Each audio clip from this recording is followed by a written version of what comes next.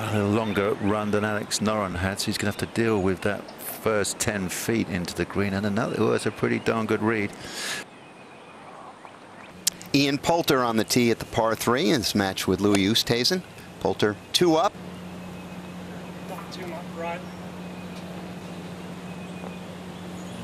Sure isn't. yeah, it's pretty good. sure isn't too much, right? He's two down.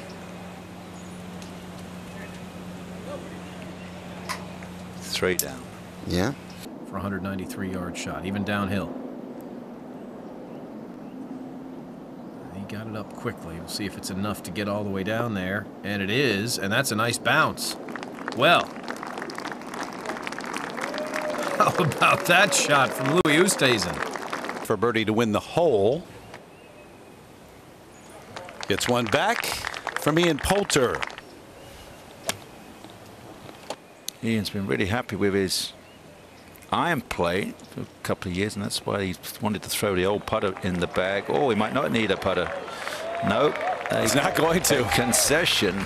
Dry air. Remember, Poulter was in there close, conceded. Louis Oosthuizen, what a putt wow. to match him. What a putt. And he has been on fire. Six birdies today. Second shot at 13. This is going to be good. Wow. 68 yards here. Oh, clunk. Wow. Oosthuizen. It's got to lay one uh, for a gimme, really. It's got to make the three. And it's a pretty good effort. That putter's given him so much trust, so much belief. How to make this now?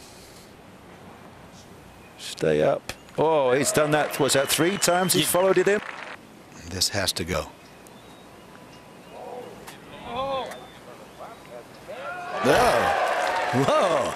Poulter now to advance. Just a little high. For Birdie to extend the match. Stay up. Ian Poulter wins the match two and one.